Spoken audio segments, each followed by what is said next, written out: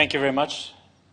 Gil, uh, I think I just counted this is, I think, my seventh conference on freedom of expression since I came to the court. I seem to become the poster boy for the court on dealing with this issue. Uh, usually I encounter nothing but wrath from the freedom of information community and, and, and expression community when I deal with this issue. So let me, let me try to be brief and make some points about, descriptive points about the current status of convention case law, and then secondly, move to two or three challenging questions. So first, the nature of the current methodological approach by the court when dealing with defamation cases. Some of this been, has been said. Let me mention three issues. First, yes, it is clear that the court now uh, proceeds on the basis that the freedom of, freedom of expression under Article 10 and the principle of reputation under the component of privacy of Article 8 deserve equal respect. That is a development in the case law which has, to some extent, been criticized because it requires the court to engage in a balancing of interests uh, with values considered to be at the same level under the convention. Let me just mention why I think descriptively that has been the trend. I think the court is grappling with a very difficult development, a rapidly developing communication environment where the possible harm to reputational rights is of a, of a sort never before seen in human history, in particular by uh, online journalism.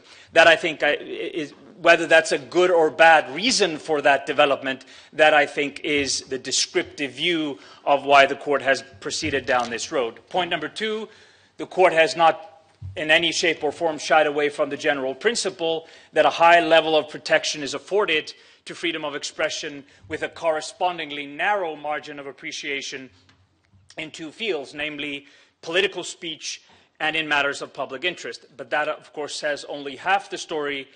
Article 10.2 of the Convention, I think it's very important to realize this, that Article 10.2 of the Convention has very clear textual limitations on freedom of speech. This is not, Europe is not a First Amendment US constitutional environment.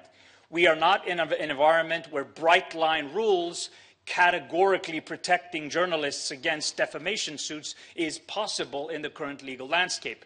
That is a decision made in the 1950s when the European Convention of Human Rights was ratified and drafted. 10.2 talks about duties and responsibilities. It's on the basis of the prong of responsibilities that the court has developed the concept of responsible journalism.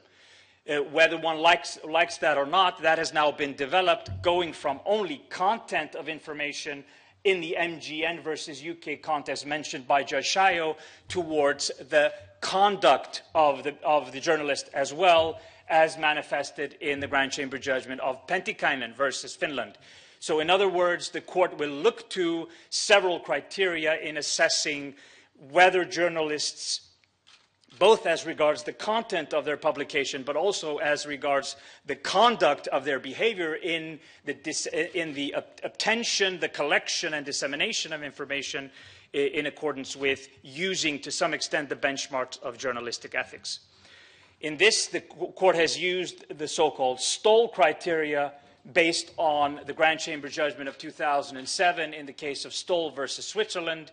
These are the criteria the interests at stake, number one, the review of the measures by the domestic courts, number two, the conduct of the journalist, number three, and for the proportionality of the penalty imposed. These are the criteria used in the case of Salihu versus Sweden, the one mentioned by Gil, where the court found manifestly ill-founded an application by a Malmo journalist because of the idea to buy a firearm illegally so as to present a report on the, the, the, easy way in which firearms could be obtained in that particular region. Um, I want to mention here the issue of criminal defamation. I think most of what has been said is absolutely correct. The court does not exclude criminal defamation as such. The court has said that imprisonment on the basis of free speech is not possible, or if used will almost certainly create a disproportionate uh, response to the speech measure in question. However, the court has not in any shape or form said that criminal defamation as such is not possible under Article 10 because at the end of the day, what the court is looking at is the severity of the consequences for the person in question. Now, whether you are imposed non-pecuniary damage in civil proceedings of 25,000 euros on the one hand, or you're fined 10,000 euros in criminal defamation on the other, is from the perspective of the proportionality assessment, not the most important thing. What can be important, and I mentioned this, is the question whether the criminal defamation is imposed based on a private type of prosecution between individuals, which is often the case in many states, or whether the criminal defamation laws are enforced through public prosecution, where it is a public prosecutor who uh, proceeds. That, of course, is more of an intense interference with Article 10 rights. My second point deals with the, what I think is very important here the positive obligations of states. That hasn't been mentioned in this context. The positive obligations of states under Article 10. And this is really, I think, where Sanne, Terlingen's problem arises.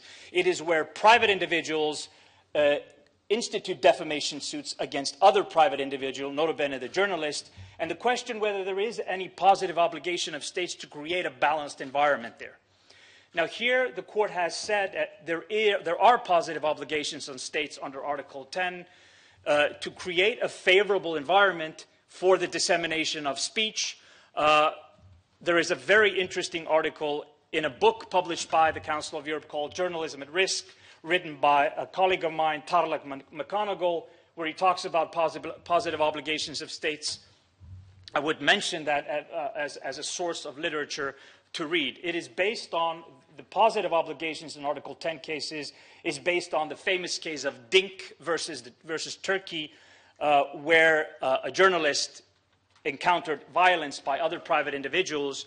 The court held that states are required, as I mentioned, to create a favorable environment for participation in public debates by all persons concerned, enabling them to express their opinions and ideas. Now, this, the development of positive obligations under Article 10 is an underdeveloped state under the law. The norms, the set of norms that apply for the positive obligations of states in the field of Article 10 is something that remains to be seen. And here I think we see a lot of questions arise as regards data protection, data processing, uh, uh, uh, to what extent in private to private relations there must be, a, some, must be an opportunity not only based on the journalistic exceptions under data protection laws for journalists to mount an adequate defense in those types of cases.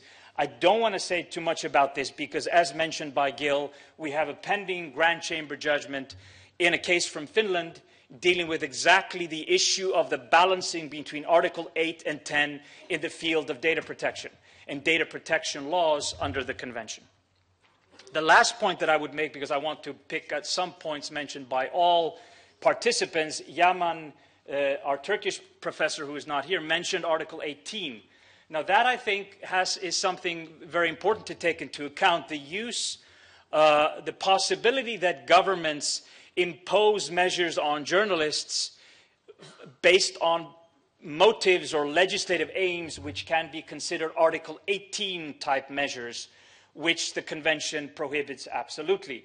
We have a case now pending before uh, the, the, Grand Chamber. It does not deal with uh, journalistic issues, but it deals with the interpretation of Article 18, uh, uh, both in generally to what extent the burden of proof, how we, how we, how we delineate the burden of proof, who has the burden of proof in demonstrating a political motive, and also the way in which the motive itself must be the predominant purpose for the interference or whether it can only be, it suffices that it is a secondary purpose of interference with perhaps Article 10 rights.